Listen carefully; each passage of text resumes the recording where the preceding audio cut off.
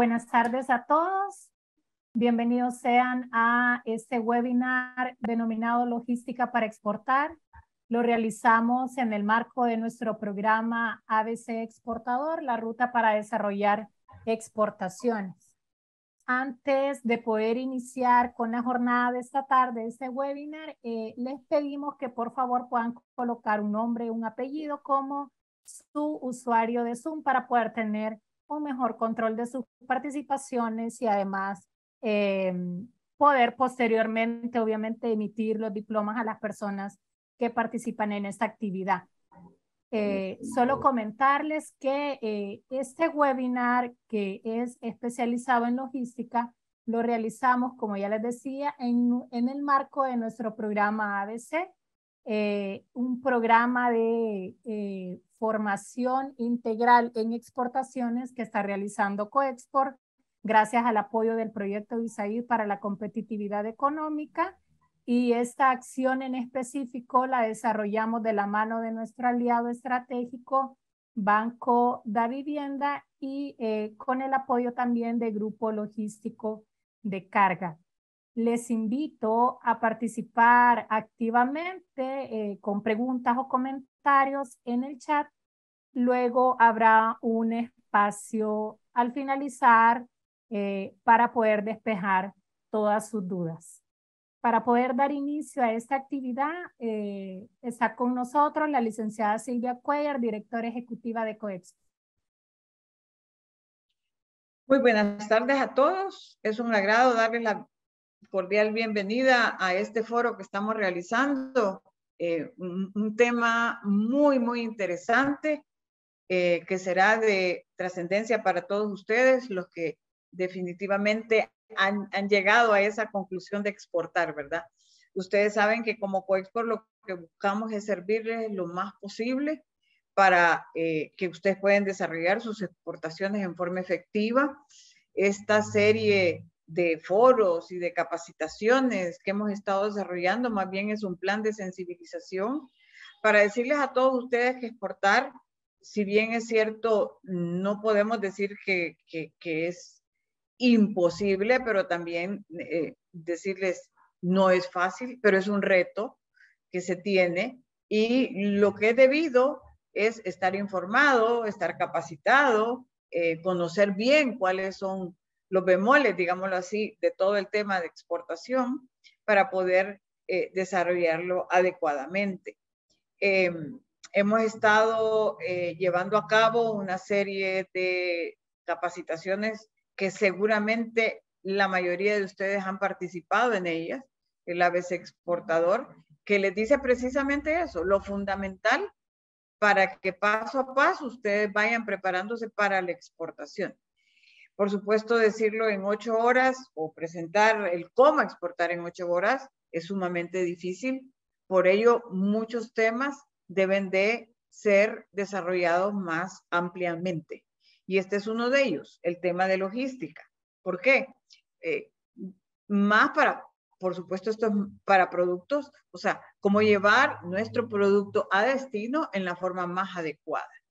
Eh, y ese es el foro que nos ocupa esta tarde eh, con un experto en la materia que no podemos pedir más porque definitivamente él es el que puede darnos todos estos tips que queremos nosotros para ah, desarrollar una buena logística. Antes de presentar a, a, nuestro experto, pues me gustaría agradecer a la vivienda por ser el patrocinador de este foro eh, por supuesto, al grupo logístico de Carga también, que eh, por ellos ustedes pueden tener este, este, este foro este día, también por supuesto la ID, eh, y en forma gratuita, ¿verdad? Todos ellos patrocinándonos para que ustedes tengan una buena sesión. por supuesto, estamos acompañados de nuestro amigo Eric Alejandro Morán Guillén, que es por parte de Da Vivienda. Él es el gerente de Banca Pyme, que estará eh, compartiendo con nosotros un mensaje. Eric, te cedo la palabra. Muchas gracias, Silvia. Un saludo También a Fernando Romero, conferencista invitado, que como bien decía Silvia, es un experto en comercio internacional, logística, cadena de abastecimiento, transporte. Un saludo a los representantes de la Agencia de los Estados Unidos para el Desarrollo Internacional, queridos aliados y queridos empresarios que nos acompañan.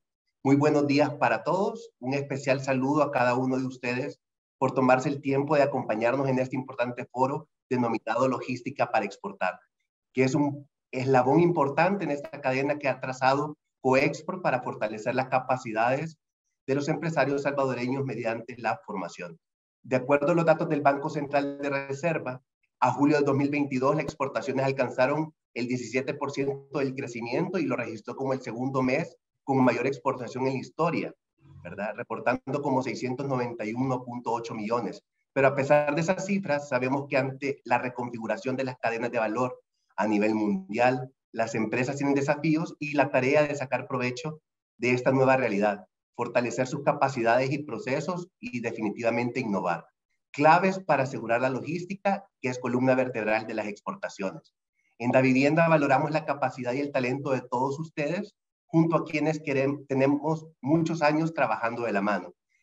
Además, les ofrecemos nuestro portafolio de productos y servicios empresariales que incluye soluciones para su actividad exportadora y también acercamos oportunidades de formación para hacer crecer sus negocios como este evento.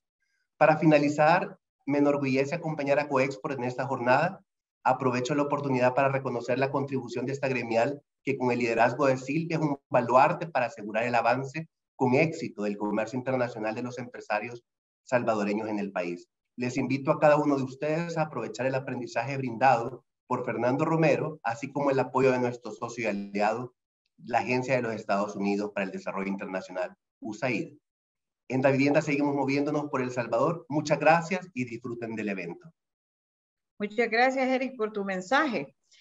Muy, muy puntual. Y vaya, Eric, diste, diste incluso cifras de cómo estamos en exportaciones. Me encanta porque estás al día.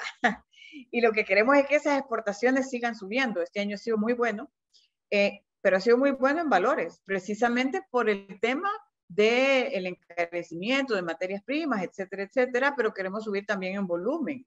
Entonces, no solo vender más a precios más altos, pero también subir en volúmenes. Y precisamente uno de los temas que nos ocupa esta tarde, eh, más bien el tema que nos ocupa esta tarde, es el tema de logística. Eh, ya bien Eric también lo mencionó, pues ustedes, todos ustedes saben que tenemos problemas eh, por el entorno que ahora se presenta, ¿verdad? De, de, que no es tan fácil llegar a feliz término o a nuestro destino como antes, del booking sea tan más fácil, ¿no? Hoy tenemos otros, otros problemitas por ahí también para recibir la mercancía. Fernando nos ha acompañado a nosotros y es nuestro asesor en en toda esta materia. Algunos de ustedes lo habrán visto y hemos participado hasta en programas de televisión explicando, ¿verdad? La situación actual y cómo la vemos hacia el futuro, pero en sí la logística es fundamental conocer cuáles son esos, esas recomendaciones, esos tips, que es lo que ahora vamos a abordar. No vamos a abordar toda una lección de, de la logística, pero más bien cuáles son esas recomendaciones prácticas que ustedes deben de tener y conocer precisamente para aplicar una excelente logística y para conocer sobre los Incoterms y cómo aplicarlos. Así que, ¿quién más que Fernando Romero? Él es del grupo Logística de Carga, pero en lo particular, como dije, es nuestro asesor. Ya Eric dio eh, algo del pedigrí de Fernando, que es muy amplio aquí eh, eh, explicarlo, ¿verdad? Experto, expertísimo en la materia.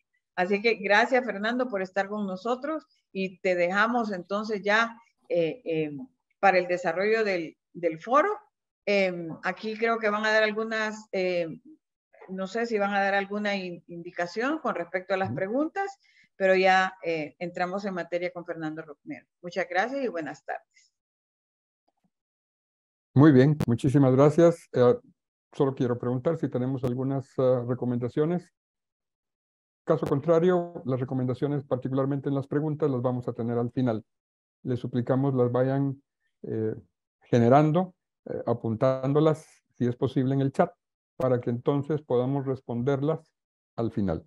Vamos a correr, tenemos bastante información que compartir. y agradecemos, por supuesto, a nuestros sponsors, a Coexport, la confianza, pero sobre todo a ustedes que están ahí al otro lado de la cámara. Sin más preámbulo, entonces, procedo a compartir la presentación que tenemos preparada para esta tarde. ¿Qué son los Incoterms? Incoterms es un acrónimo relacionado con International Commerce Terms. Reglas que definen las responsabilidades más importantes entre vendedores y compradores en los contratos de compra-ventas internacionales. Publicados por primera vez en 1936 y actualmente son revisados cada 10 años por la Cámara de Comercio Internacional con sede en Ginebra, Suiza son la novena versión y estarán vigentes desde el primero de enero del 2020 al 31 de diciembre del 2030. Hablemos de los alcances de los términos de comercio internacional. Costos logísticos. Dice que están asociados con el lugar de entrega de las mercancías. Sí, pero ¿cuántos, cuántos lugares de entrega podemos conocer? Vamos a hacer referencia a todos y cada uno de ellos precisamente para que entonces tengamos una mejor referencia de lo que estamos indicando. Riesgos asociados a la negociación, que deben ser asumidos por todos los que participen en los manejos o movimientos de la cadena logística. Responsabilidades documentales, aplicables a todos los documentos involucrados en la negociación según el contrato de compraventa. Y finalmente, jurídicos, que son los relacionados con los conflictos, con la resolución de los conflictos en los contratos de compraventa internacionales. Hagamos un alto aquí. El caso de los jurídicos es complejo porque desafortunadamente podemos llegar a ellos de manera muy fácil. ¿En qué sentido? Al no tomar la mejor decisión de no solo qué término de comercio utilizar, sino también en el instante en el que por alguna razón no se prevea algún costo o no estemos considerando incluir en el valor de venta un costo asociado con el tema de costos logísticos. Eso es de suyo importante que lo, tengan presente siempre. Siguiente, por favor.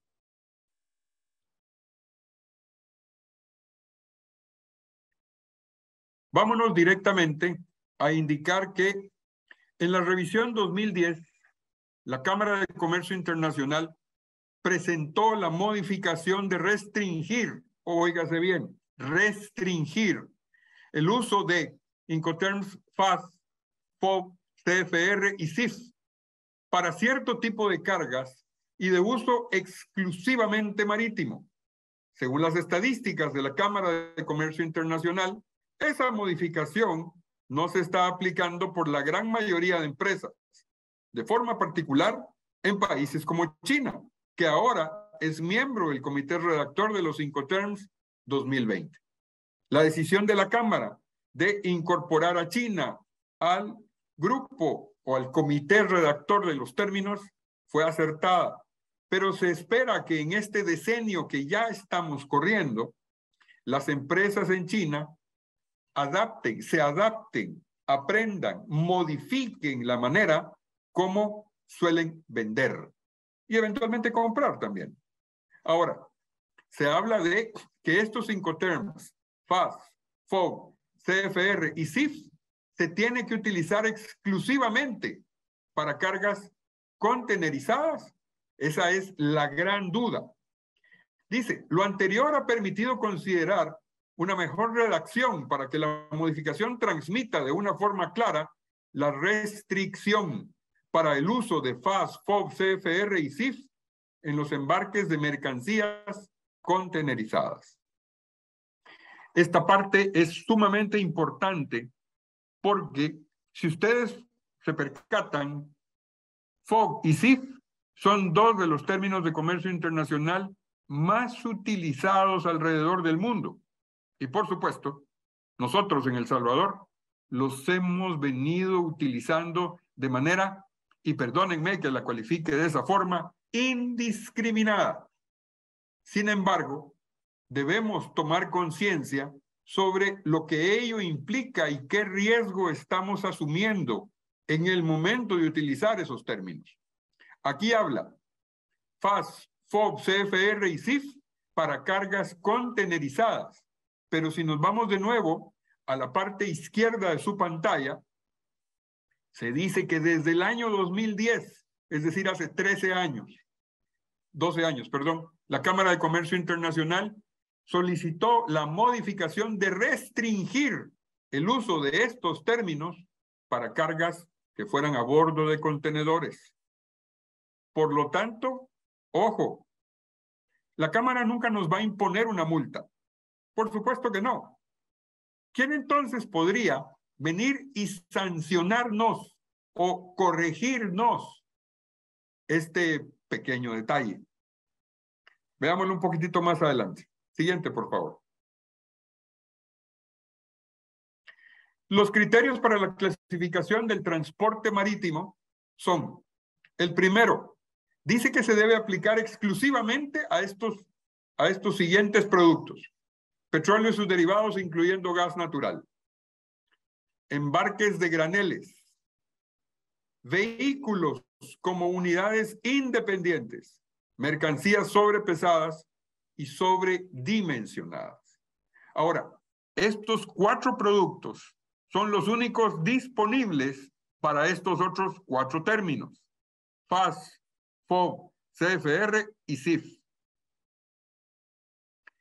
Si alguno de ustedes está intentando embarcar hamacas, artesanías en madera, cuero o barro, o algún otro tipo de producto producido en el país que no requiera, entre comillas, o que no se encuentre dentro de estas cuatro calificaciones específicas o cuatro grupos de productos, hombre, entonces no debemos usar esos términos. Y hoy por hoy, nosotros lo vemos, este servidor lo ve, seguimos utilizando, por ejemplo, un CIF a San Salvador, cuando estamos embarcando probablemente una mercancía o una materia prima que queremos que venga de alguna parte del mundo por vía aérea. O al momento de exportar, estamos utilizando un CIF Tegucigalpa, o un CIF San José, Costa Rica, o un CIF ah, Ciudad de México. Ese tipo de situaciones a donde nos conducen es a un tema de riesgo, ¿Y quién o qué es lo que nos mide el riesgo? Las compañías de seguros. Siguiente, por favor. Ok, aquí tenemos unas diapositivas.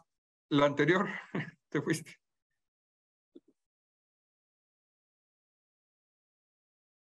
Correcto. En esta diapositiva lo que tenemos acá es un buque tanque. Es un tanquero. Este tanquero transporta combustible. Y estos son los depósitos de combustible del puerto. Entonces, si el combustible en cuestión viene del depósito hacia el barco, se va a conducir por un ducto, un pequeño canal que se ve como en el puente que aparece allí. Eso se llama oleoducto. Si este fuera un buque de gas o gasero, y estos fueran los depósitos de gas, el ducto se, denominaría gasoducto. Siguiente, por favor.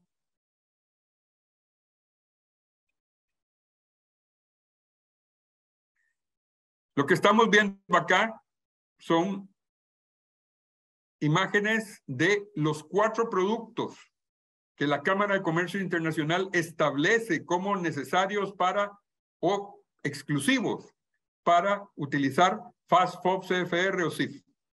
En este otro estamos viendo un embarque de azúcar, similar al que El Salvador le hizo a China, ya tiempo atrás.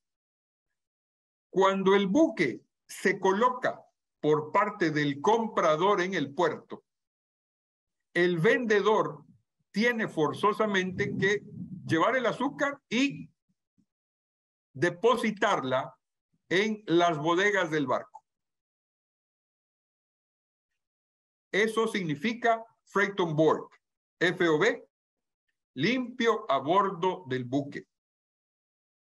Pero podemos entregar un contenedor en esas condiciones. La Cámara de Comercio Internacional solicita que no sea así. Por lo tanto, es una decisión que se tiene que tomar necesariamente en función de evitar el riesgo.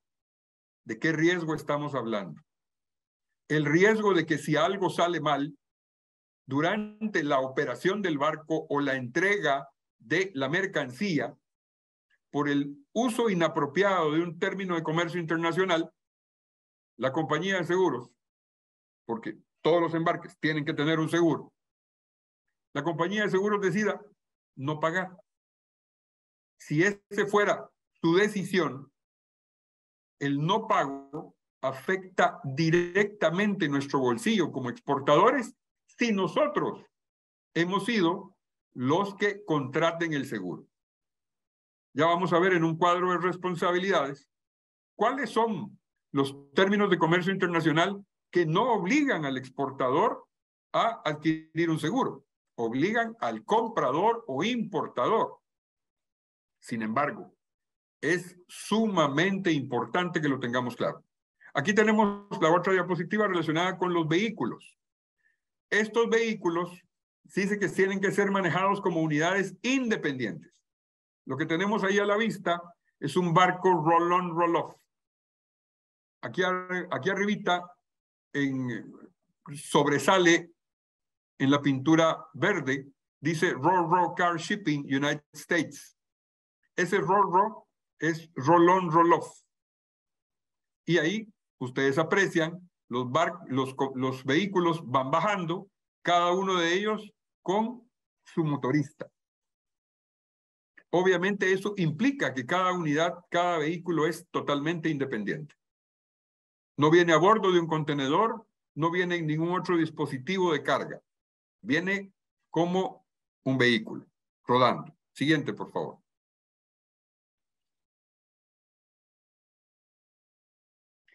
Esto que tenemos acá es un barco plataforma. La plataforma se advierte en la parte inferior de color rojo, porque el barco que aparece en el extremo izquierdo de la diapositiva es un buque, es un remolcador. Ese remolcador es el que coadyuva en las tareas de operación, de aproximación o inclusive de zarpe del barco. Las estructuras que tienen ustedes aquí son las esclusas del canal de Panamá, las nuevas esclusas de Agua Clara. Esas esclusas fueron de acero puro y llegaron a Panamá a bordo de este tipo de buque precisamente porque fueron producidas en Italia. Fueron transportadas durante la época que no había huracanes porque si hubiese sido en este, en este tiempo, hubiese sido imposible que llegaran. Muy agitado. Así que para eso se utilizó un buque plataforma y estos son mercancías sobrepesadas y sobredimensionadas. Es muy importante de nuevo establecer que para esos cuatro productos, petróleo y sus derivados, incluyendo gas natural, graneles, vehículos como unidades independientes y este tipo de mercancías sobrepesadas y sobredimensionadas, la Cámara de Comercio Internacional ha establecido que se deben utilizar de manera exclusiva los cinco terms FAS, FO, CFR y CIF. Siguiente, por favor.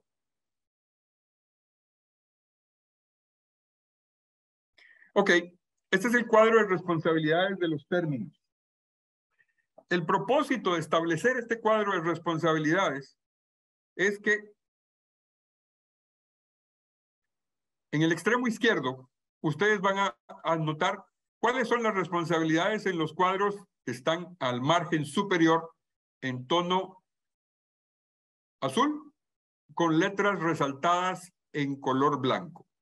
La primera dice, modalidades de transporte, la siguiente, embalaje y verificación en origen, luego carga en fábrica del vendedor, transporte interior, formalidades aduaneras de exportación, costos de manipulación en origen, a posteriori una nueva casilla de transporte principal, luego aparece el seguro para la mercancía, costos de manipulación en destino, formalidades e impuestos de importación, transporte interior y costos de recepción y descarga.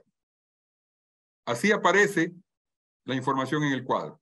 Luego vamos a ir analizando lo que los grupos de términos de comercio internacional establecen para que entonces podamos ir comprendiendo la naturaleza de la aplicación y cómo a través del buen y apropiado uso de los términos de comercio internacional pudiera, podríamos manejar, primero que nada, costos de operación y segundo, de una exportación exitosa.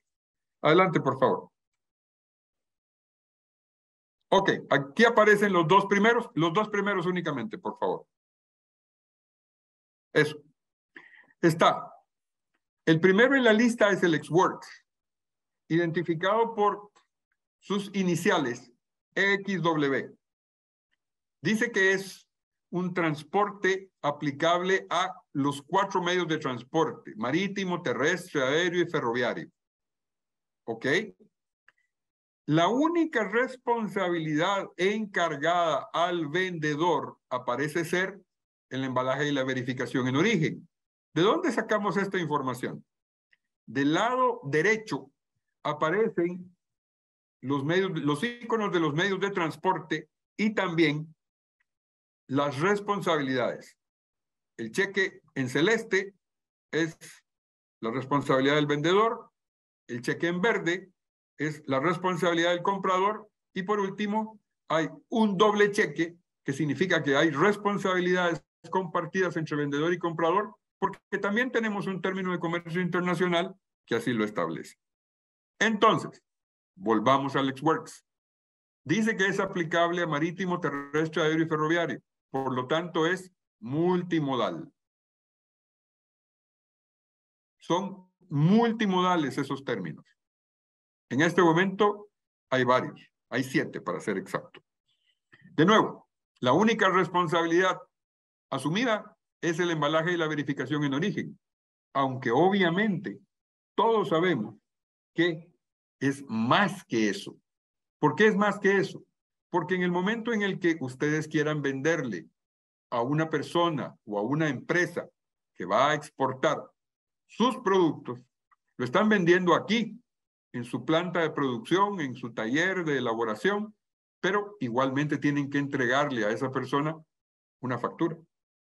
¿Para qué? Para que cumpla con las formalidades aduaneras de exportación, porque si no, no lo va a poder sacar. Puede ser aconsejable también que en ese sentido, entonces, ustedes decidieran vender bajo términos FCA. ¿Qué significa eso? Free Carrier, es también multimodal, es decir, es aplicable al MTAF, pero las responsabilidades suben desde el embalaje y la verificación en origen, pasan por carga en fábrica del vendedor, hay un transporte interior y se cumplen las formalidades aduaneras de exportación. ¿Cuándo podría yo, o cuándo podrían, perdón, ustedes, asumir, pensar en realizar una operación a través de un FCA. Bueno, pensemos en una exportación aérea. Ok. La exportación aérea significa que su producto tiene que subirse a un camión, tiene que prepararse la documentación. ¿Por qué? Porque van a ir al aeropuerto a entregar esa mercancía al operador logístico, agente de carga, transitario, freight forward, que el comprador haya designado. ¿Por qué? Porque es responsabilidad del comprador el transporte principal y también los costos de manipulación en origen. Seguimos hablando de una exportación aérea. ¿Qué pasaría si fuese una exportación marítima consolidada, es decir, menos del tamaño de un contenedor. En las mismas condiciones. Si ustedes quieren no manejarlo como Xworks, sino manejarlo como un FCA, sus responsabilidades serían la entrega en el punto donde se van a cumplir las formalidades aduaneras de exportación. ¿Y ese punto dónde será? Normalmente tiene que ser en la bodega de consolidación. Para efectos o propósitos del Salvador, la bodega de consolidación debe estar dentro de un recinto fiscal. ¿Por qué? Si estamos hablando de un producto producido en el país, eminentemente salvadoreño, no necesitamos que tenga ningún documento de ninguna otra índole. Correcto. Pero es usual que las mercancías de exportación que se van por vía consolidada puedan o deban inclusive ser consolidadas para su transporte con otras mercancías que tengan distintos orígenes. Es decir, que aunque sean producidas en el territorio nacional, fueron producidas fuera, entre comillas, de un régimen, o perdón, dentro de un régimen aduanero suspensivo de impuestos. Tal el caso de una operación de zona franca como fuera Maquila o la operación de un depósito de perfeccionamiento activo.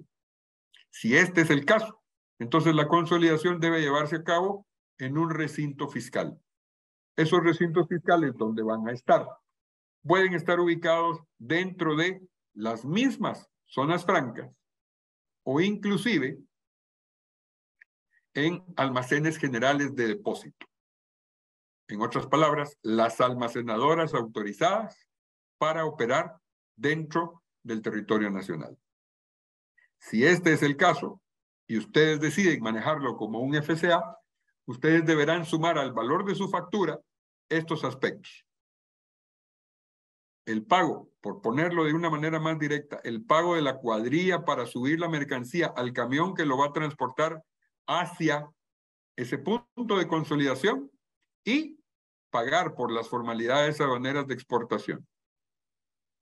¿Por qué deberían pagar ustedes como exportadores y no como en el Xworks que lo paga el comprador? Más que pagarlo significa que son responsabilidades. Recuerden, son reglas que definen las responsabilidades. Entonces son responsabilidades que quedan a cargo de que sean realizadas y por ende pagadas por el, por el comprador. En el caso del Xworks, en el caso del FCA, ustedes deberán asumir el pago y por supuesto eso entra dentro del precio de venta de su producto. Todas las demás responsabilidades corren a cuenta de quien compra. Hasta inclusive el costo de recepción y descarga en la bodega del comprador en el país donde éste se encuentre. Siguiente grupo, por favor. Aquí ya hay cuatro Incoterms más. Estos cuatro son el FAS, el FOB, el CFR y el CIF. Son los marítimos de los que hemos venido hablando. Ahora, ojo, ya sabemos entonces qué diferencia habrá entre el marítimo del multimodal y el marítimo per se. Recordemos, estos cuatro marítimos únicamente van a ser manejables para cuatro productos. Petróleo y sus derivados, incluyendo gas natural. Embarques de graneles. Vehículos como unidades independientes. Y, ojo, mercancías sobrepesadas y sobredimensionadas. Hay aspectos que son muy importantes que establezcamos. En primer lugar, el FAS, que es eminentemente marítimo, tiene las misma, el mismo nivel de responsabilidades que el FCA.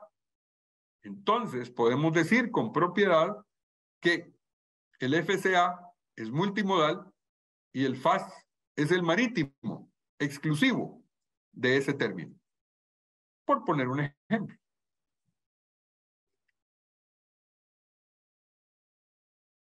En el caso de el FOB,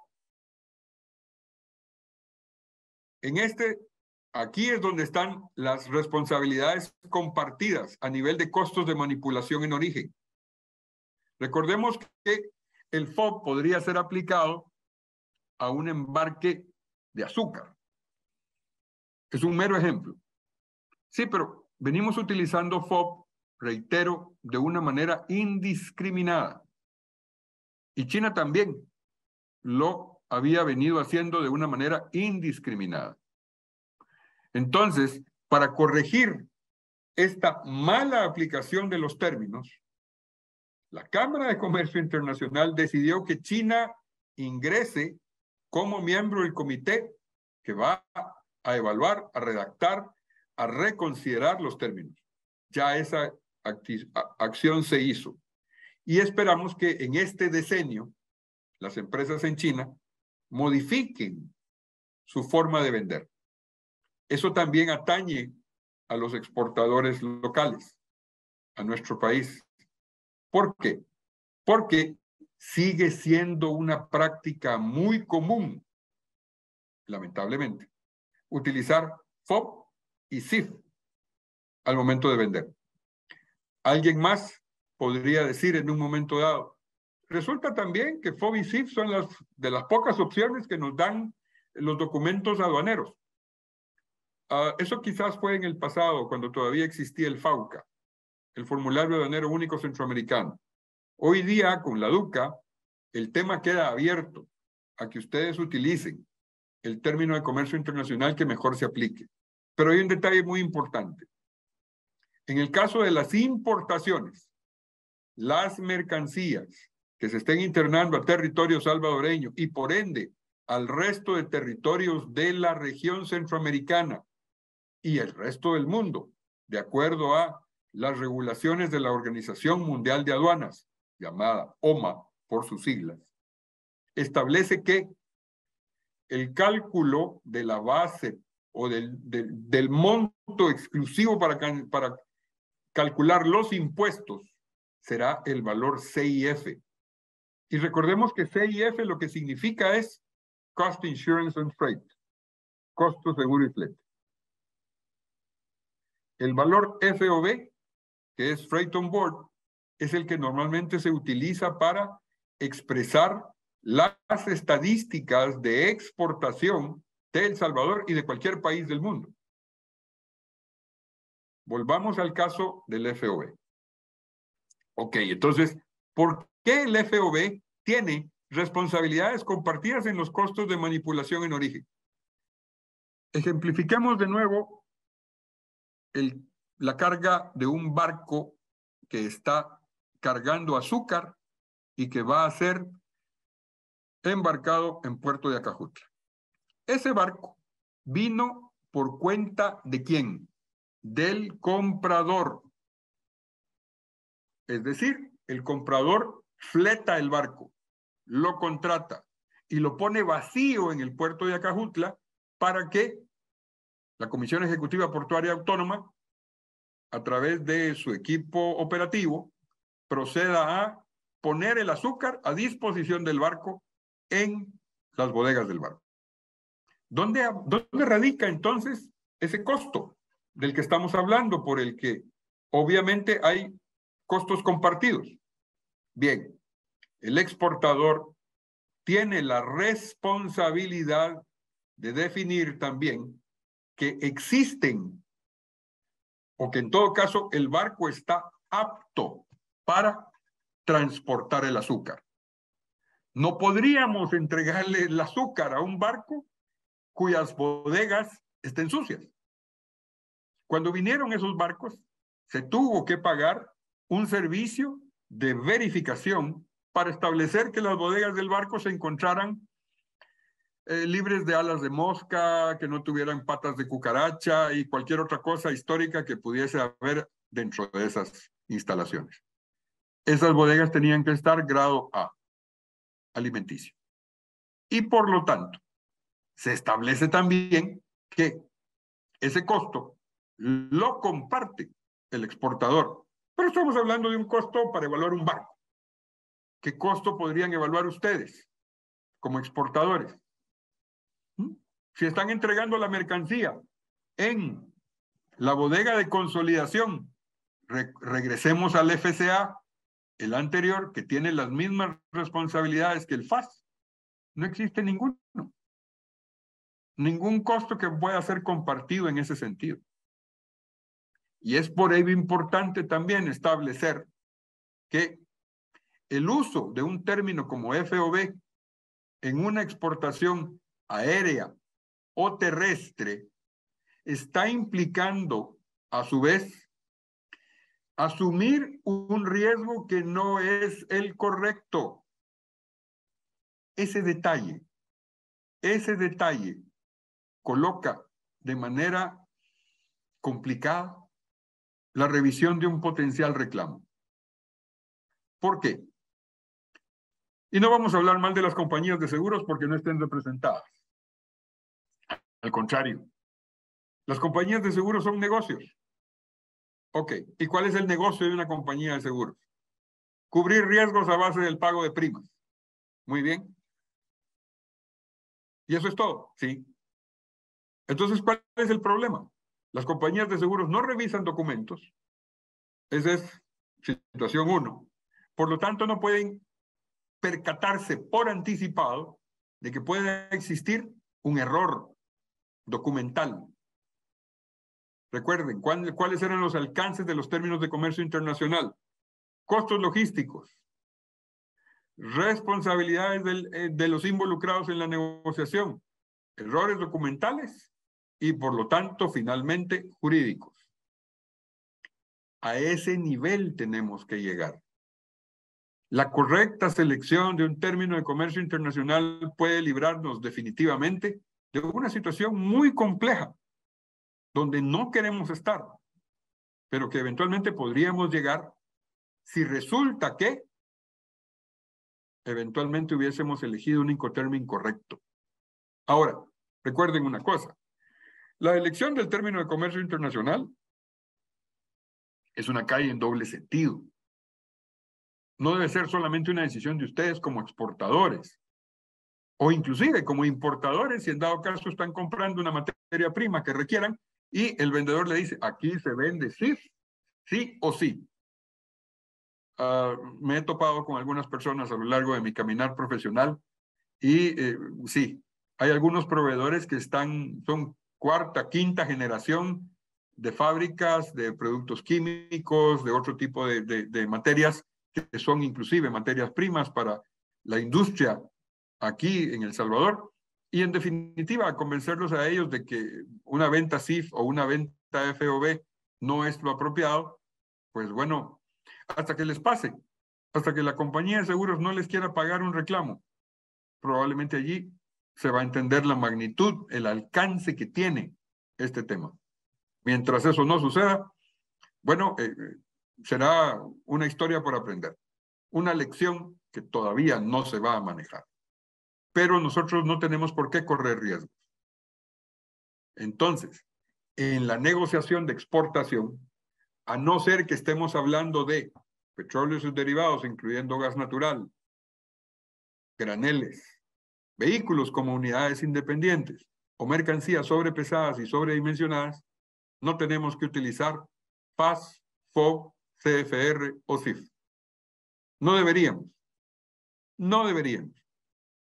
Es una muy sentida sugerencia a partir de las reglas de la Cámara de Comercio Internacional, que reitero, son reglas que definen las responsabilidades en ningún momento la Cámara de Comercio Internacional va a venir y nos va a imponer una multa. Claro que no. Pero ¿y entonces? ¿Cómo, cómo esperan que, que, nosotros nos alineemos para la correcta utilización de un Incoterm? Bueno, de nuevo, la palabra riesgo sale a luz. ¿Y quién mide el riesgo? La compañía de seguros.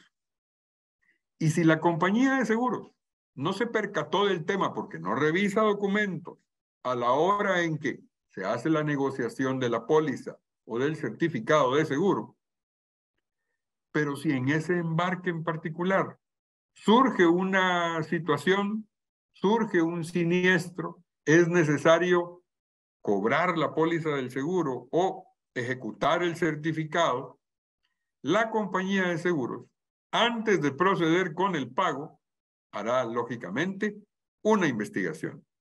Dentro de la investigación, que se origina de manera documental primero y física después, si la mercancía se dañó y está a la vista, o podemos confirmar que tal situación fue derivada del mal manejo de alguno de los participantes,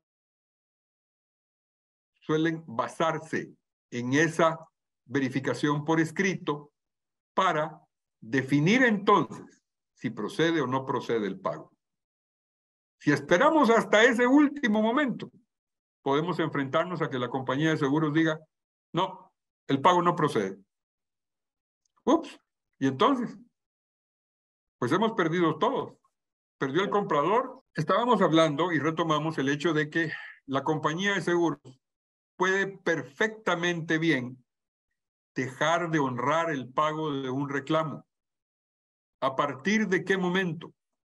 Ellos, reitero, cubren riesgos a base del pago de primas. Y el riesgo de haber utilizado un incoterm incorrecto debió haber sido de mutuo acuerdo. Ahora, pierde el exportador porque no le van a pagar.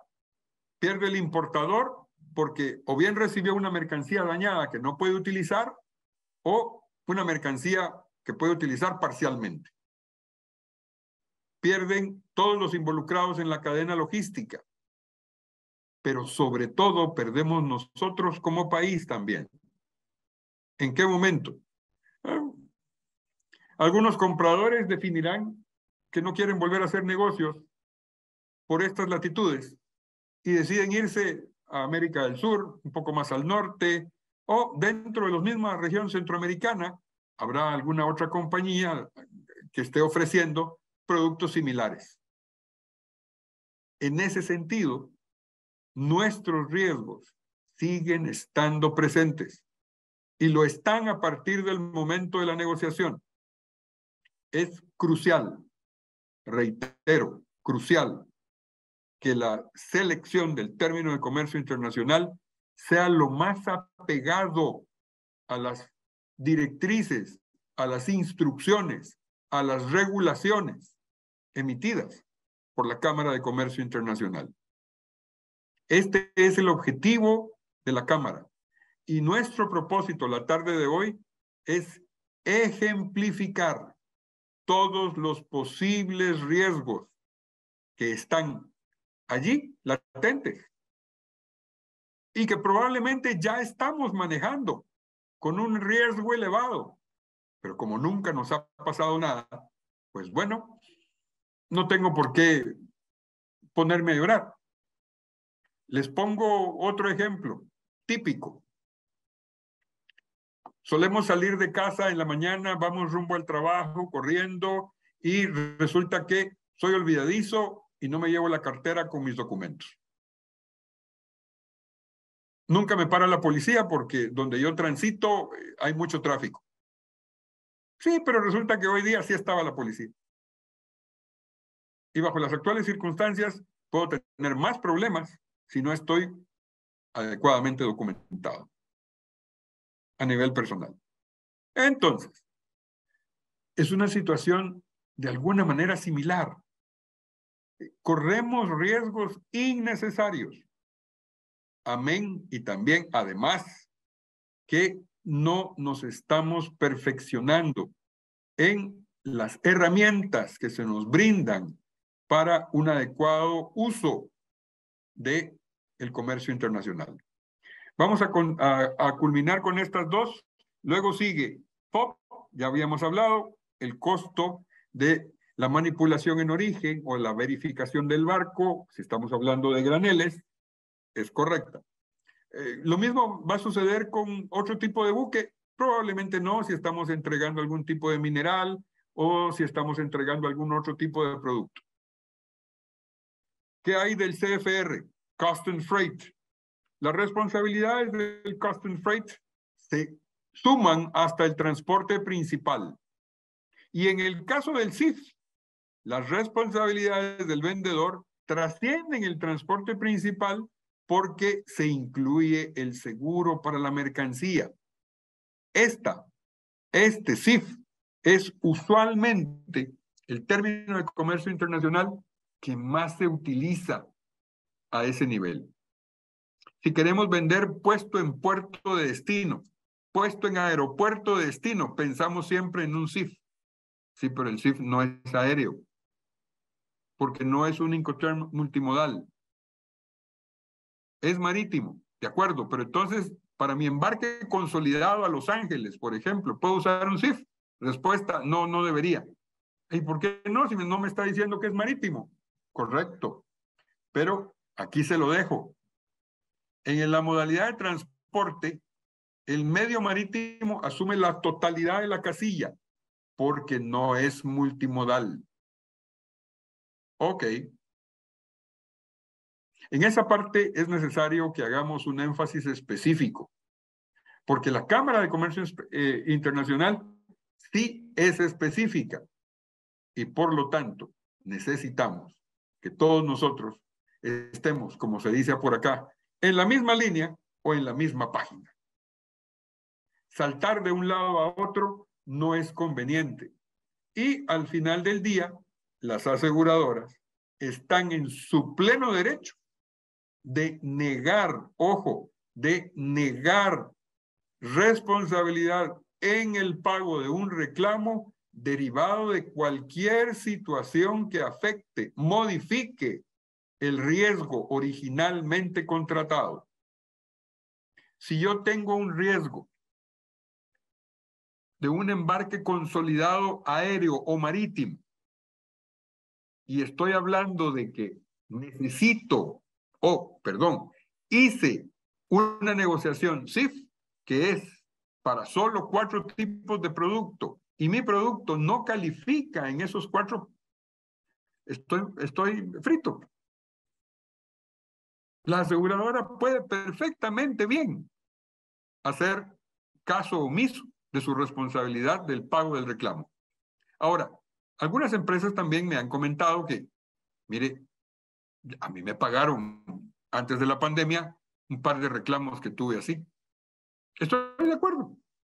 Estoy de acuerdo. Las compañías de seguros siempre suelen evaluar qué tipo de cliente somos nosotros. Si evaluamos, eh, o en todo caso, si aseguramos todo lo que sea posible asegurar, o si solamente estamos asegurando esa mercancía y ese embarque en específico. Como quiera que sea, todas las aseguradoras alrededor del mundo cuentan con un respaldo llamado reaseguro. El reaseguro es el que también incide en la decisión de la compañía de seguros local para decir sí o no acepte el pago o acepte el reclamo y procéselo para pago. ¿Por qué inciden? Los reaseguros son otras compañías de seguros que coinvierten con las aseguradoras locales en el manejo de las negociaciones por reclamación. En ese sentido, estamos todos claros. Y es necesario, por favor, que lo tengan siempre presente. Los cinco terms marítimos, FAS, FOB, CFR y CIF, no deben ser utilizados para otros productos que no sean petróleo y sus derivados, incluyendo gas natural, graneles, vehículos como unidades independientes y, ojo, mercancías sobrepesadas y sobredimensionadas. Sigamos adelante, por favor, para culminar con el cuadro de Incoterms. Ok. Aquí aparecen ya el resto de los términos de comercio internacional. Están, por ejemplo,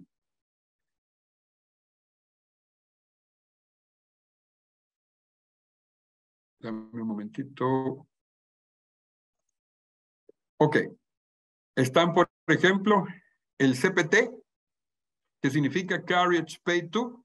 Este ya es nuevamente multimodal.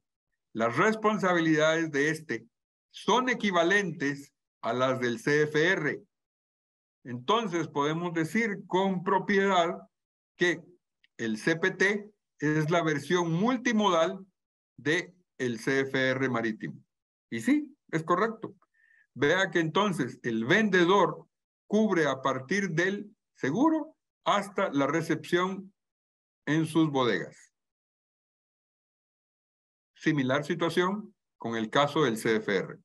Entonces, pareciera ser que hay tres terms que van a tener versión marítima exclusivamente y una versión multimodal. Sí, el primero de ellos es el FCA con el FAS.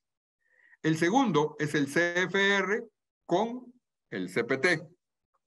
Y el tercero va a ser el Carriage and Insurance Pay To, que es el, se identifica por las siglas CIP, multimodal, pero que las responsabilidades concluyen hasta el seguro de las mercancías. Igual situación ocurre con el, con el CIF. Entonces, sí tenemos tres términos de comercio internacional que tienen un equivalente en marítimo y equivalente en multimodal. El único que no tiene equivalente es el FOB.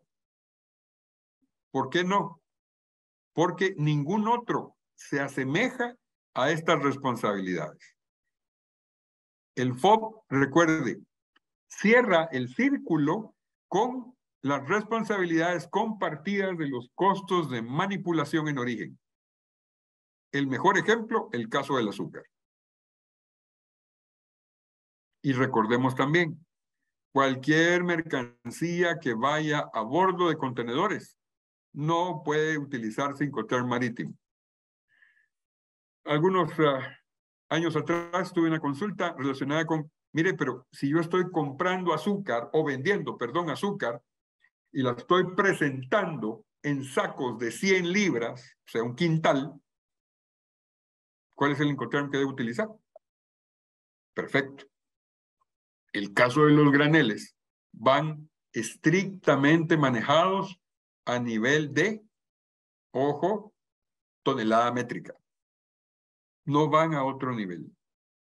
Entonces, el hablar de sacos implica utilizar Incoterm multimodal porque eso se puede ir a bordo de un contenedor. Se debe ir a bordo de un contenedor. También existen negociaciones en las cuales hay N cantidad de toneladas que se están vendiendo presentadas en saco. Correcto.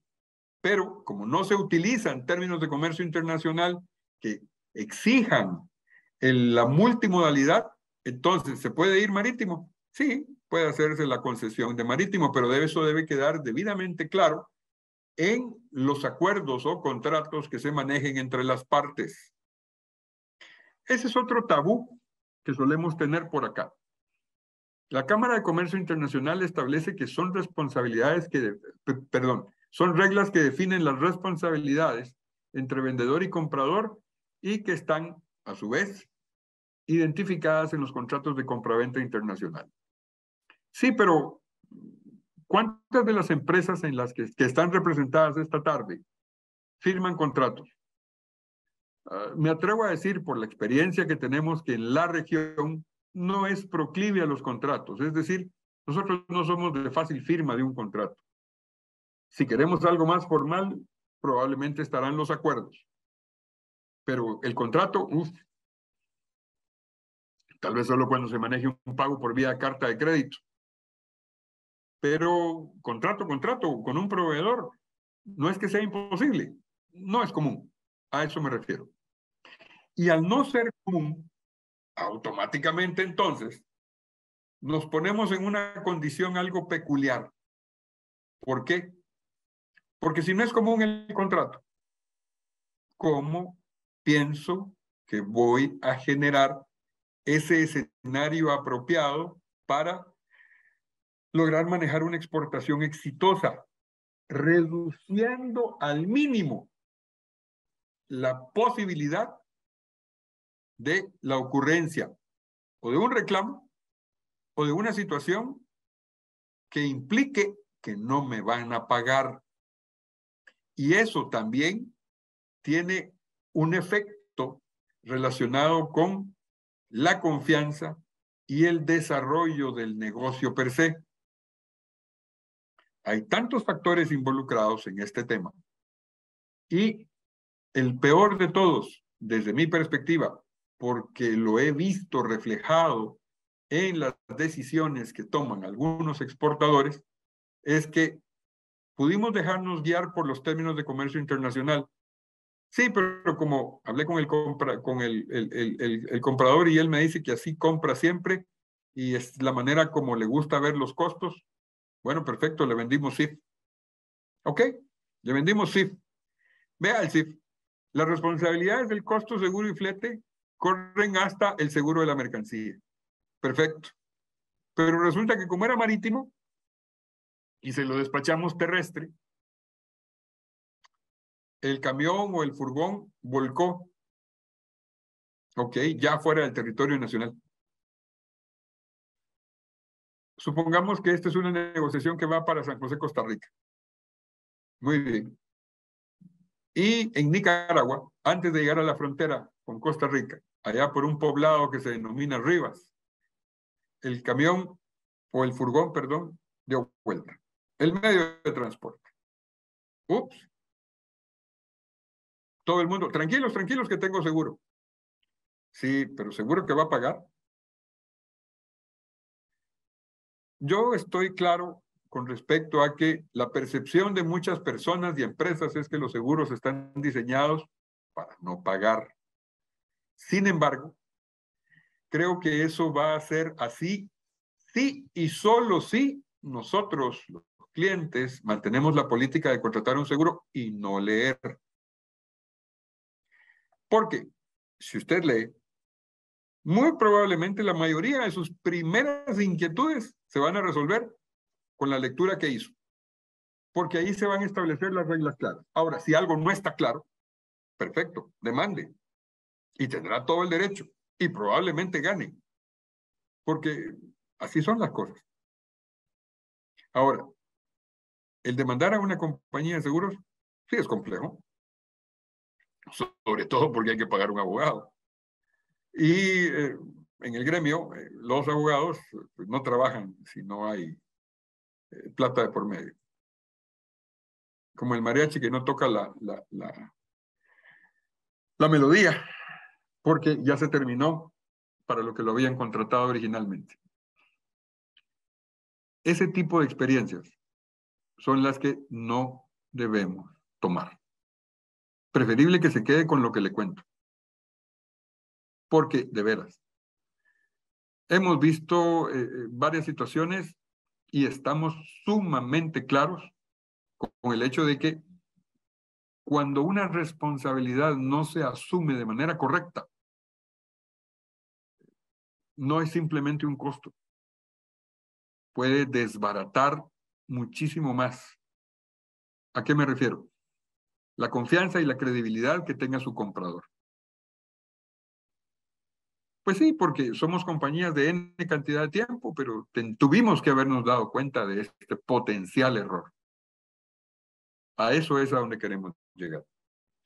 Bien, sigamos. Tenemos entonces el Delivered Place o DAP, también multimodal, donde las responsabilidades del vendedor llegan hasta los costos de manipulación en destino.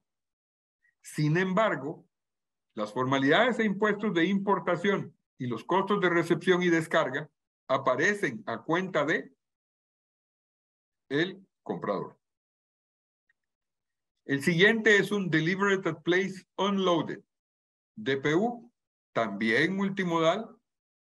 Esta, este de eh, Incoterm es de reciente creación. Este fue creado en la revisión 2019 que tomó vigencia a partir del primero de enero del 2020. Y en este momento, entonces, las únicas responsabilidades del vendedor son formalidades e impuestos de importación. Y ya no hay más. Claro, está el DDP. Sí, pero el DDP resulta que todas las responsabilidades corren a cuenta de quien vende. Ok. ¿Cuál es el propósito de eso? Usualmente hacer una negociación que nos permita afianzar el músculo negociador que debemos de tener en el mercado e inclusive ganamos representatividad con aerolíneas, navieras, operadores terrestres, porque, pues claro, tenemos la posibilidad de cubrir todos los costos del el comprador hasta su recepción y descarga. Siguiente, por favor. Hablemos ahora brevemente de los aspectos que los cinco terms no determinan. No tan rápido. Elimina los dos segundos. Ese. Transferencia de la propiedad de las mercancías. ¿En qué momento se transfiere la propiedad de una mercancía? Creo que ustedes no me dejarán mentir, exportadores, respecto a que, bueno, yo estoy vendiendo y la verdad es que la transferencia de la mercancía se da cuando me pague. De otro modo, la mercancía debería seguir siendo mía. ¿Correcto? Creo que es un criterio apropiado. Pero cuando hay acuerdos, cuando ya hay una tradición de operación, entonces resulta que, eh, pues sí, le doy crédito al comprador. Ah, ok, entonces la transferencia de la propiedad ya no es cuando paguen, sino cuándo va a ser, cuando embarque. ¿Sí? O cuando las mercancías lleguen a su destino final y el comprador pueda hacer o realizar sus formalidades de importación para que entonces la mercancía quede debidamente inscrita a su nombre, ya no al mío como exportador. Ok, vea qué interesante. Va más allá de lo que tradicionalmente solemos pensar. La transferencia de la propiedad de, las mercancías es un elemento de suyo importante que ustedes definan en qué momento se va a llevar a cabo. Existen una diversidad de momentum. Estoy de acuerdo.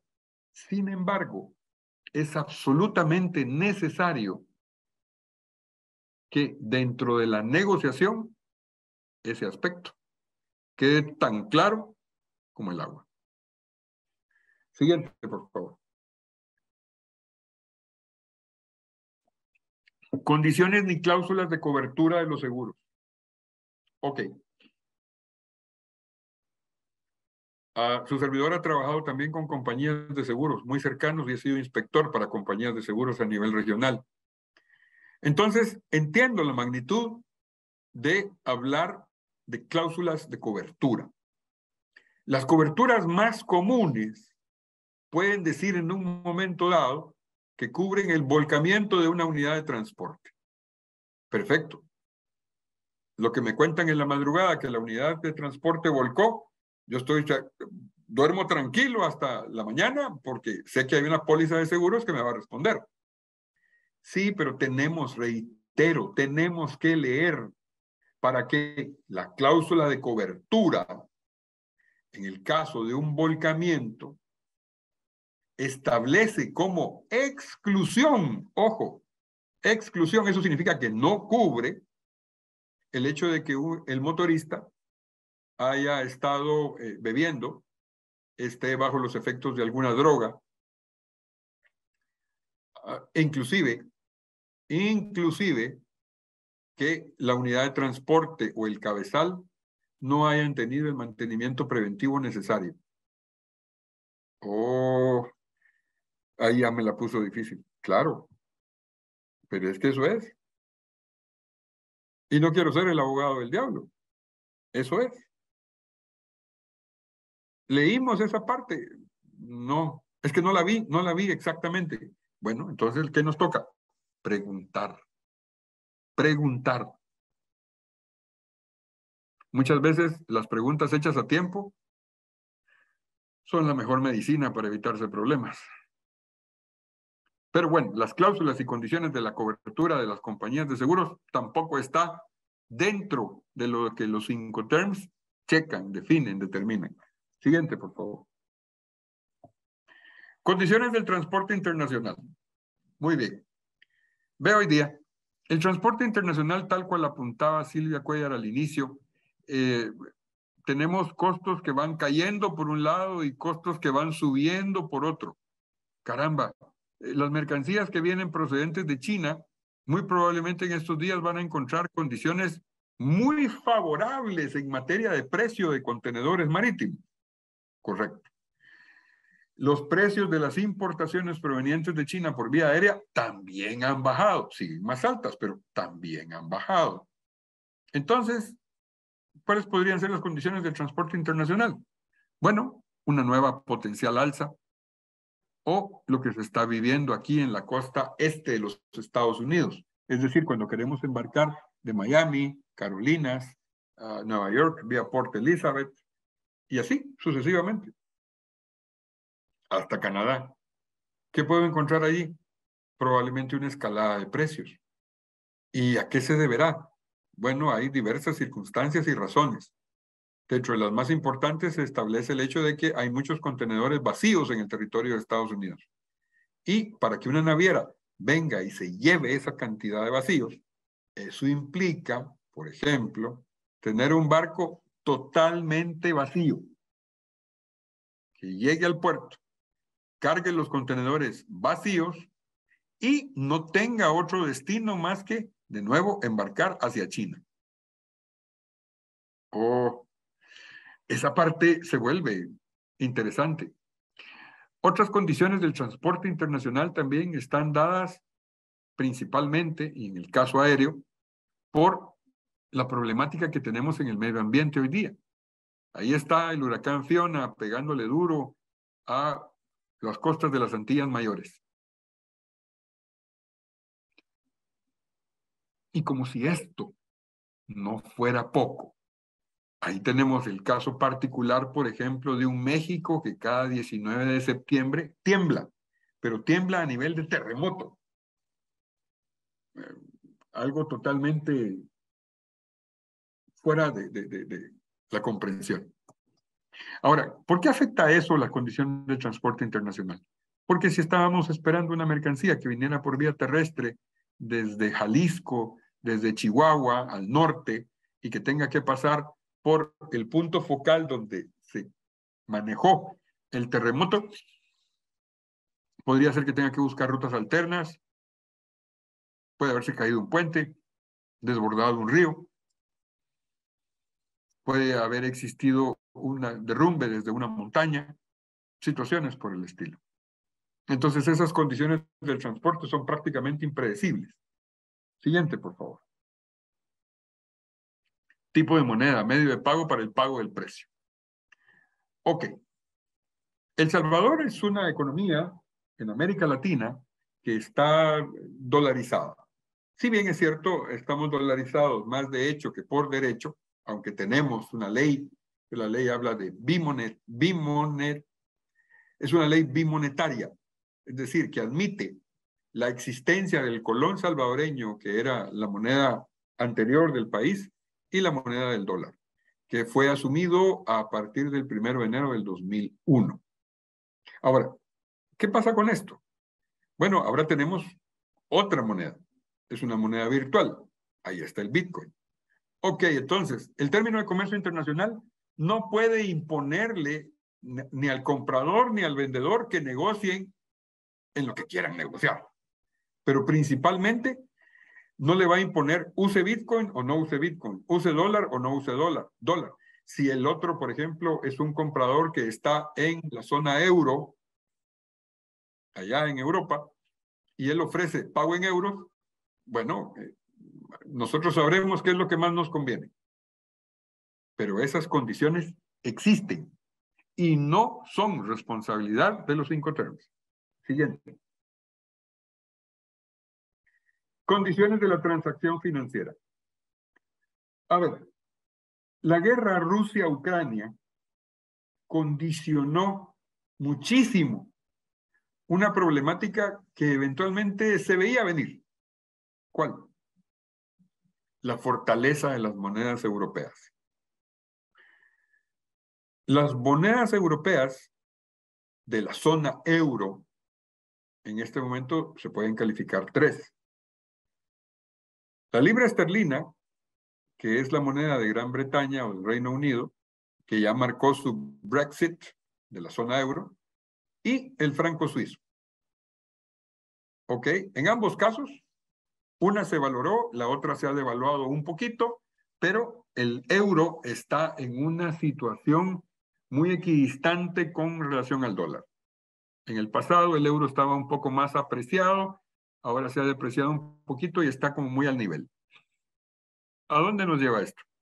Bueno, nos lleva a comentar que las condiciones de la transacción financiera a través de la utilización de monedas, pues bueno, es una necesidad, sí, pero ustedes deben establecerlo como más convenga. Primero, a los intereses de la negociación. Y segundo, si es la disponibilidad que tiene el comprador. Imagínese por un momento un comprador en Múnich, Alemania, que le ofrezca, mire, yo por el embarque de artesanías le quiero pagar eh, mitad en euros y mitad en bitcoins. Y si usted se pone exquisito con que, no, mire, yo lo quiero todo en dólares o mejor no hay negocio, bueno, está en su derecho. Pero no le diga que es por el que el Incoterm que quiere utilizar es multimodal y esa es la razón por la que quiere manejar una mix en el tema de pago. No, ahí estaríamos mal. Siguiente, por favor. No establecen la calidad de las mercancías. Este es un tema recurrente en las exportaciones. No me refiero a las exportaciones del Salvador únicamente, sino a las exportaciones en general. Sobre todo en el caso de cierto tipo de productos y de algunos emprendedores. ¿Por qué? El problema de mantener la calidad es precisamente parte de la etiqueta que identifica al productor. Sin embargo, ese es un tema que afecta en muchos sentidos y con una eh, constancia peculiar. El grupo de artesanos que trabajan madera, que nos acompañan esta tarde, y para quienes voy a hacer una acotación, el caso de el eh, productor de urnas funerarias que fueron para Alemania, se embarcaron, si no estoy mal, dos contenedores y algunas de esas urnas no llegaron apropiadamente porque la pintura se corrió debido al calor. Sí, pero ¿por qué no se corrió en todas? Porque algunas ya habían sido, eh, estaban secas a nivel de horno pero otras no. Y se cargaron, según lo recuerdo, en un momentum de muchísima humedad en La Palma. Con todo esto en mente, se tiene que tomar en consideración entonces el hecho de que la calidad del producto debe hablar por nosotros mismos. Ahora, un producto a toda prueba siempre tendrá un buen mercado. Algunos me dicen, sí, pero entonces eso implica que tengo que revisar el precio, porque no me sale tan barato mantener un estándar de calidad tan alto. Bueno, es una decisión que ustedes van a tomar. Porque en el mercado siempre habrá un producto similar al nuestro con un mejor precio. O tal vez no mejor precio, sino eventualmente más barato. Cuando ustedes se ponen a hacer esos análisis, hay muchas cosas que se pasan por alto, porque solamente estamos viendo el valor de la factura cotizada, pero no estamos viendo la letra pequeña que usualmente en los transportistas o en todo caso en las operaciones de carga internacional, no es que exista, sino se escondió a través de un precio global. Sí, pero necesito identificar todos esos detalles. Y ahí pueden estar algunas de las razones que expliquen el por qué no necesariamente vender siempre al mismo precio puede ser la mejor opción. Bien lo decía Silvia Cuellar, bien lo apuntaba cuando indicó que hoy día estamos exportando mayor valor. También lo dijo don Eric Morán de la vivienda, cuando citó las cifras del BCR. De acuerdo. Pero ese, ese punto es necesario aclararlo porque ante los ojos de cualquier no conocedor, las exportaciones han crecido. Sí, es una dicha. Sí, pero no necesariamente están creciendo en el lado que queremos que crezcan. ¿Y cuál es el lado que queremos que crezcan? Volumen de bienes y producción legalmente establecida y asentada en el país. Ups. Lejos de eso, están sucediendo otros hechos ocasionados, por ejemplo, por el proceso inflacionario en Estados Unidos, que va a empezar a golpear algunas de las actividades productivas en el territorio nacional. Y las exportaciones de productos no tradicionales se convierten entonces en la mejor alternativa, la mejor opción para compensar esos ingresos. Es muy importante que el mayor porcentaje de exportadores que nos están escuchando y con los que podamos conversar directamente puedan sentirse apoyados, pero sobre todo cristalicen, hagan posible su éxito. Sigamos, por favor. No estipulan el tiempo de entrega. Ah, este sí es un tema que en estos días se ha puesto muy de moda. ¿Por qué? Porque lamentablemente tenemos un tiempo de entrega que se ha estirado horriblemente. La pandemia desde el 2020 para acá nos echó a perder todo lo que solíamos tener en función de el tiempo de entrega. Las alternativas, las opciones, bueno, primero desaparecieron del mapa cuando el transporte aéreo se quedó en tierra y cuando el transporte marítimo se ralentizó horriblemente. Luego los incrementos en puerto y todas esas situaciones que derivaron en que los precios de los contenedores marítimos se fueran y se dispararan al aire. Hoy día todo eso pareciera estar volviendo a, una, a un nivel de normalidad mucho más manejable. Sí, pero el tiempo de entrega sigue siendo una situación que afecta la credibilidad y, como es parte de la negociación, tenemos que ser juiciosos y cuidadosos en mantener un tiempo de entrega que sea lo más realista posible. Siguiente, por favor. No definen el origen o destino de las mercancías. Por supuesto que no. Un Incoterm es válido si usted quiere negociar entre San Petersburgo y San Salvador. Tampoco se lo recomiendo debido a que hoy día no tenemos forma de traer o de llevar una mercancía a Rusia o desde Rusia. Pero sí la podemos llevar o traer desde algunos otros países del mundo. Tampoco eh, eh, eh, lo recomiendo con países que estén en conflicto, entre comillas, ya sea entre ellos o que tengan conflictos y por lo tanto no sean países con los que negociar operaciones de comercio internacional sea lo más recomendable debido a que entonces el tiempo de entrega se nos va a disparar. Siguiente, por favor. Recomendaciones para incorporar los Incoterms 2020 a los contratos. Pongámosle aquí que en el contrato debe hacerse referencia clara a la versión de los Incoterms que se aplicará. ¿A qué me refiero? Ah, todavía están en el mercado algunas operaciones que se manejaron y que se contractualizaron a través de los Incoterms 2010. Debe hacerse plena referencia a que si son esos los términos que se van a utilizar, debe colocarse. O si se van a, a, colocar los 2020, bueno, igualmente, tiene que hacerse plena referencia que son 2020. Siguiente, por favor. Hacer especial referencia geográfica y lo más específicamente posible a la ubicación del lugar de entrega de las mercancías, de acuerdo con lo pactado en el contrato de compraventa. Vuelve a aparecer la palabra contrato. A muchos el aspecto contrato no les gusta porque son formalidades que en el comercio internacional y sobre todo con ciertos compradores pareciera ser que no son bien recibidas. Entonces, ¿qué conviene?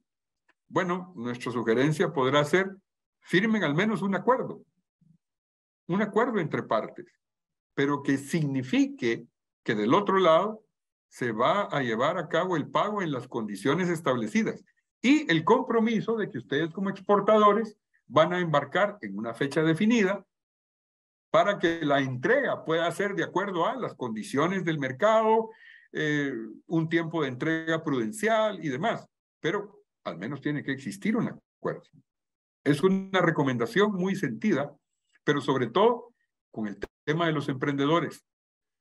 Eh, el tener un acuerdo puede ser más usual entre compañías que ya llevan bastante tiempo negociando y que empezaron con un contrato de compraventa. Sin embargo, para un innovador, para un eh, nuevo en el mercado, hablar de un contrato de compraventa, uy, tiene que ser una negociación muy grande, muy fuerte. Y muchas veces los compradores no quieren verse involucrados en ese tipo de temas. Entonces, suscribir un acuerdo puede ser la mejor alternativa. Siguiente, por favor. Por ejemplo, sigamos. Si vamos a utilizar un CIF, que sea CIF Puerto de Acajutla, El Salvador, Centroamérica.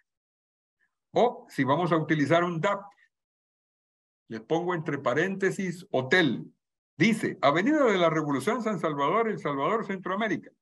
Suelo preguntarle a mis alumnos y en otros foros donde participo, donde muchas veces el público tiene opción también de preguntar, hey, ¿y cuál hotel es ese? Porque no tiene número. Bueno, se los dejo. Y ahora sí, creo yo que mejor pasemos sin más preámbulo a la sección de preguntas y respuestas. Voy a proceder a responder la pregunta uno. En efecto, existe ah, literatura la más importante de todas es eh, la de la Cámara de Comercio Internacional. El sitio de la Cámara de Comercio Internacional, ustedes lo pueden googlear. Ah, usualmente la Cámara de Comercio Internacional es una organización adscrita a las Naciones Unidas, a la OMC, y escribe para eh, las economías importantes. El Salvador no es miembro de la Cámara de Comercio Internacional, desafortunadamente. De Centroamérica, únicamente Guatemala y Costa Rica son los países miembros porque cuentan con una delegación de la Cámara de Comercio Internacional. Y la otra alternativa sería adquirir una guía que este servidor ha producido, se llama, es libro de Incoterms, eh, contamos con el registro necesario ante la Biblioteca Nacional, es la segunda edición que se maneja porque lo publicamos a mediados del decenio pasado y tuvo una buena aceptación, aunque no una mejor difusión. Eh, a posteriori, a través de Coexport, podemos ah, eh, conversar sobre la persona que quisiera adquirirlo o los que quisieran adquirirlo. Luego, eso dependerá del el punto en el que la quieras entregar. Por ejemplo, dijimos que era posible entregarla en puerto de origen. Eventualmente también va a ser posible entregarla en la bodega del cliente en destino.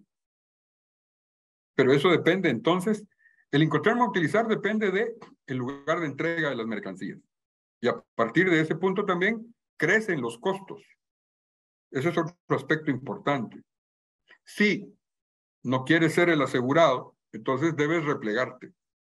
Pero si decides ser un poco más agresivo y pasar de entregar en tu bodega a entregar en la bodega del cliente, hombre, existen diversas alternativas.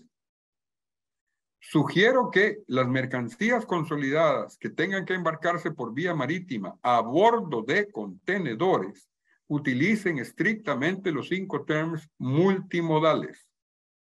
FAS, FOB, CFR y CIF, no. Porque eso les va a acarrear más problemas. La pregunta tres era las compañías, las grandes compañías que están acostumbradas a negociar CIF.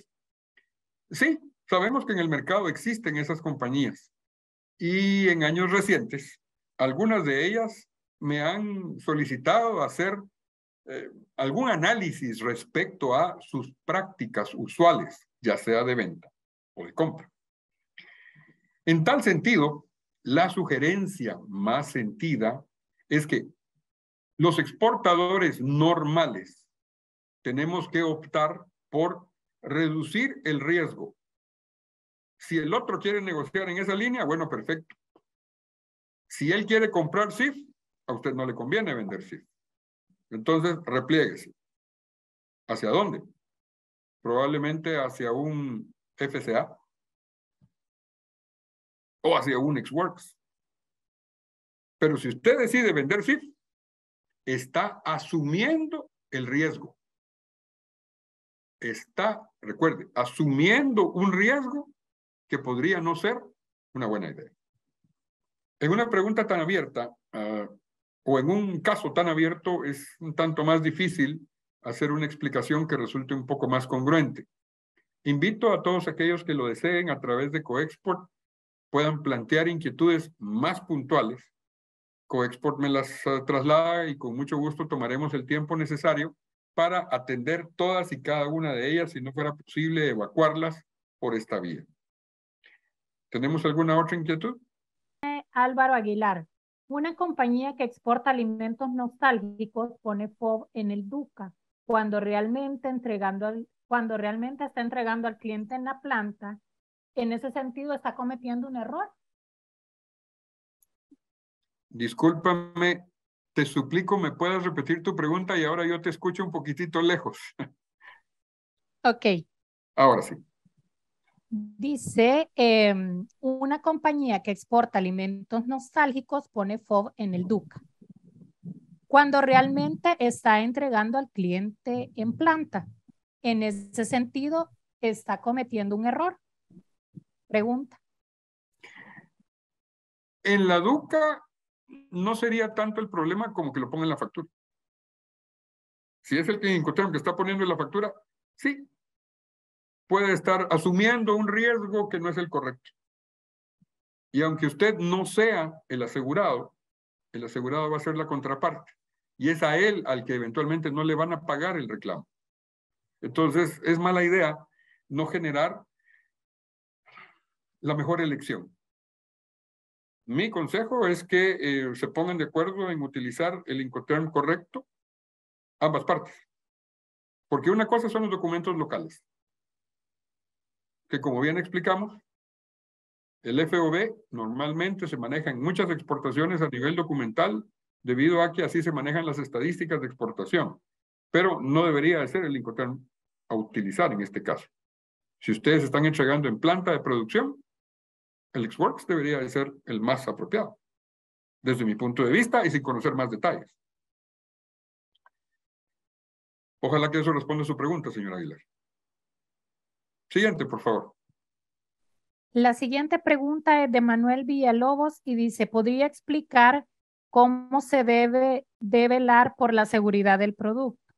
En el caso de elegir un transporte multimodal para cualquiera de los cinco terms 2020 para efectos de una empresa que exporta hierro. Ok, si la empresa exporta hierro, el hierro es un producto que tradicionalmente se maneja en rastras, hasta donde yo entiendo. Si es así, no necesita ser por el lado multimodal. Al contrario, debería de manejar las opciones marítimas per se, FAS, FOB, CFR o SIF, dependiendo de dónde con su comprador decidan que es el punto de entrega más apropiado de la mercancía. Siguiente, por favor. Paulina Palacios nos pregunta, ¿por qué surgieron los cinco terms y cuál es su propósito? Ok. En el año de 1936 fueron editados por primera vez, pero la Cámara de Comercio Internacional existe desde el año 1920. En el pasado, el comercio se regía por dos eslabones. Uno es, ¿dónde decido comprar? O perdón, ¿dónde me van a entregar la mercancía? ¿Y dónde voy a pagar? En aquel entonces, estamos hablando de principios de los 1900 y finales de los 1800 y hacia atrás, las opciones de comercio eran muy simples. Yo entrego y cobro. Punto. Ahora, en la industrialización que surge a partir de los primeros años de 1900 la Cámara de Comercio se crea a posteriori de la Segunda Guerra Mundial, en el ínterin de la segunda, de la primera, del, del declive de la Primera Guerra Mundial y antes de la Segunda Guerra Mundial.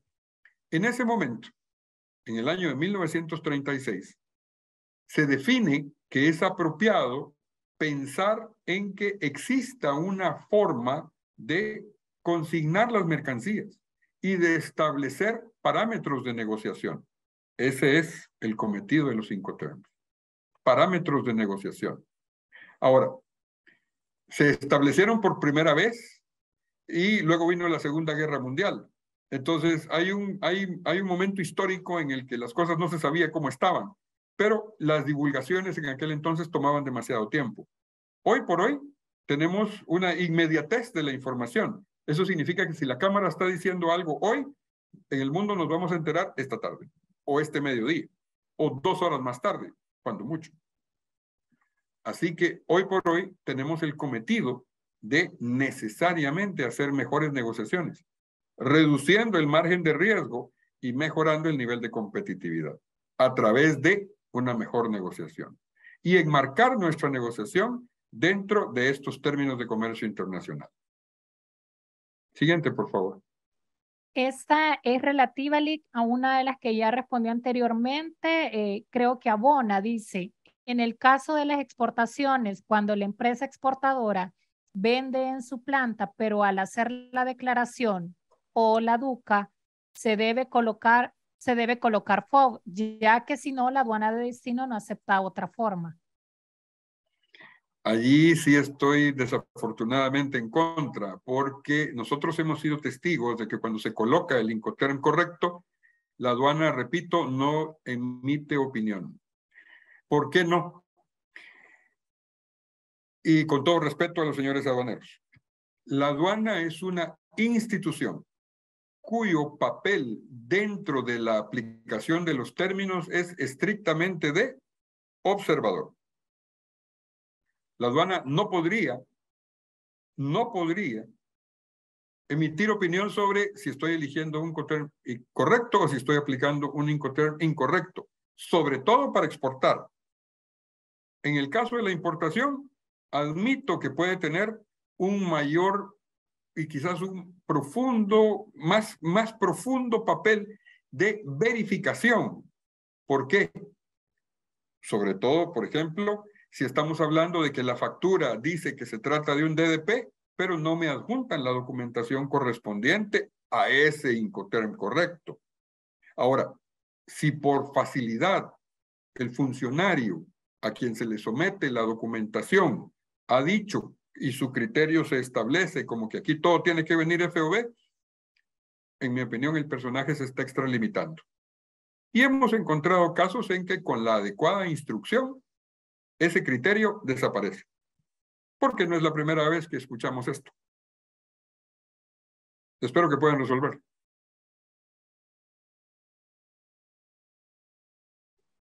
Otro comentario del chat dice, em, de David Herrera, nosotros estamos iniciando en exportación.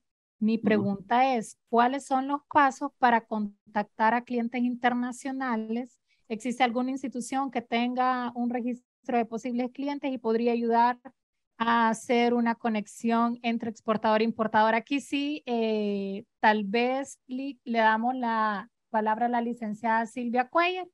Por supuesto. Si quiere abonar a esta pregunta.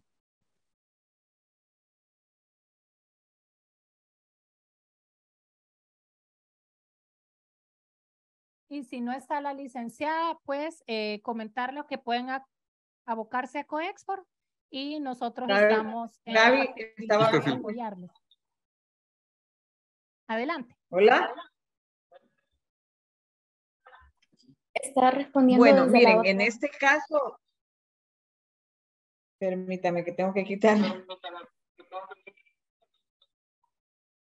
En este caso, eh, Perdón, que tenía el sonido del otro. En este caso, lo que tendríamos que hacer es una cita o una reunión con la persona que está consultando para ver cómo poderle eh, enlazar con algún interesado fuera. No es tan rápido, pero sí se puede seguir en un proceso. Si nosotros no tenemos en la base, en la base de, de compradores, nosotros llevamos un registro. No es tan amplio, pero llevamos un registro. Eh, pero también se puede buscar por otros medios, ¿verdad?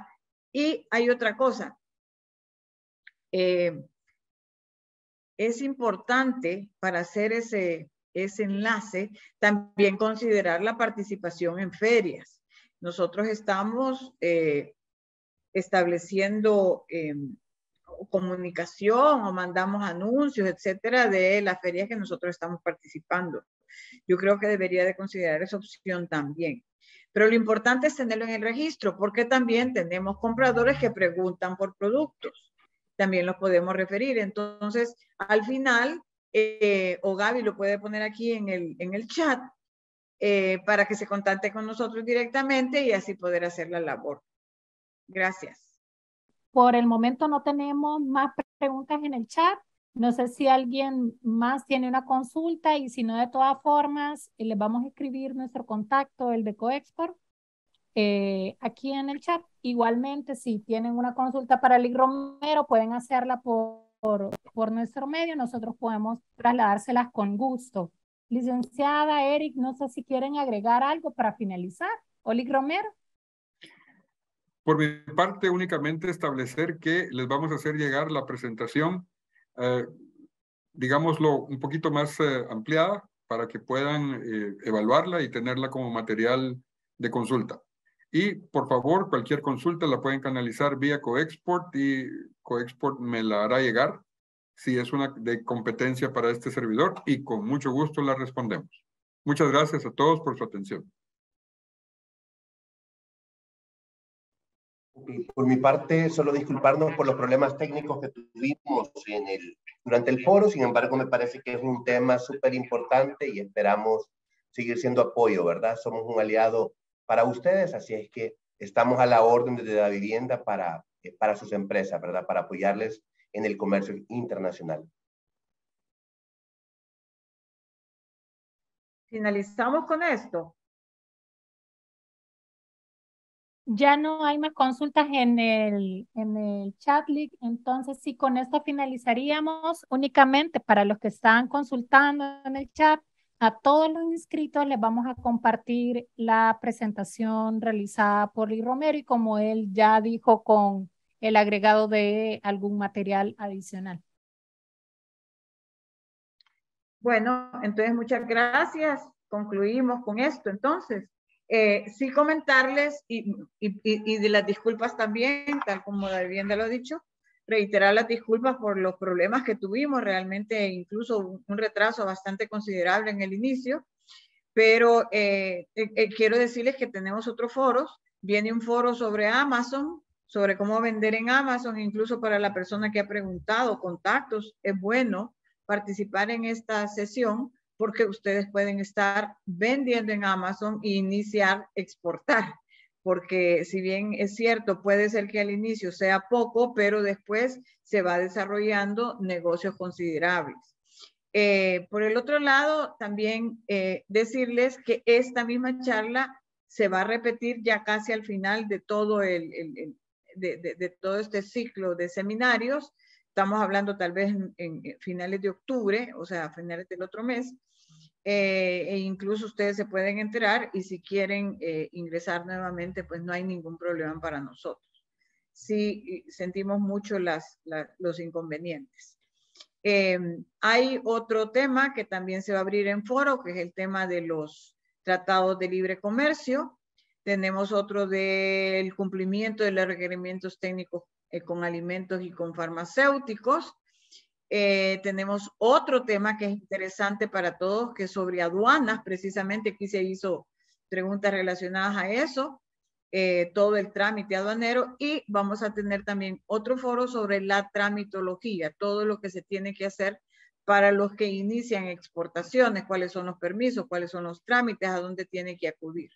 Entonces, eh, nosotros los estaremos contactando y eh, ya, ya que ustedes participaron aquí, quedan registrados con nuestras instituciones, con la vivienda, con el Coexport, eh, y estaremos, estarán recibiendo todas nuestras comunicaciones de futuras actividades que estamos haciendo y reiterarles que estamos a la orden para que nos contacten en el correo que aquí se indicó y establecer una cita. ¿Verdad? Para conocer mejor cuáles son sus, deseos, sus inquietudes y cómo poder apoyarles. Tal vez a veces no sea Coexport la institución que les apoya, pero les podemos referenciar a dónde ustedes deben de acudir. Así que muchas gracias a todos por estar con nosotros, por haber participado. Gracias, Fernando. Excelente, eh, excelente exposición. Lamentamos el problema técnico que tuvimos, ¿verdad? Y Eric, eh, Da Vivienda ha sido un excelente aliado en esta oportunidad y esperamos seguir con otras actividades a futuro. Muchas gracias a todos. Gracias al equipo que nos apoyó también.